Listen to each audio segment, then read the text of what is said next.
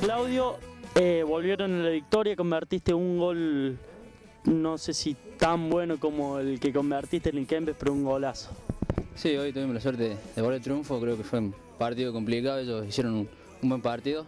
Nosotros por ahí sentimos un poco el desgaste de tantos partidos que hemos jugado entre el campeonato y provincial. Eh, se nos hizo difícil el partido, pero lo pudimos sacar adelante. Se hacía en un partido tan difícil como el que tuvieron planteado en cancha, muy abierto estuvo. Desde el primer minuto los dos equipos fueron y vinieron. Sí, salió un partido lindo, creo, con muchos goles. Eh, los dos equipos buscaron el triunfo. Bueno, se lo dio a nosotros. Veníamos de tres derrotas seguidas ya en el campeonato local y gracias a hoy pudimos sacar un triunfo que, que los pone ahí en el grupo de, de los que están en la clasificación, ¿no? Gracias, Lanita. No, gracias a usted.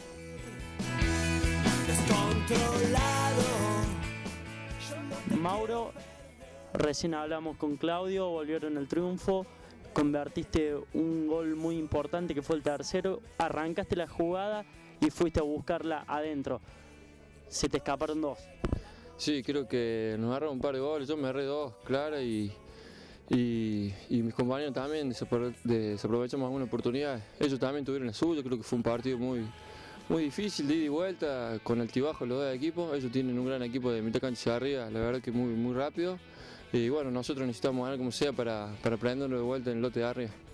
Personalmente necesitabas la, eh, la victoria.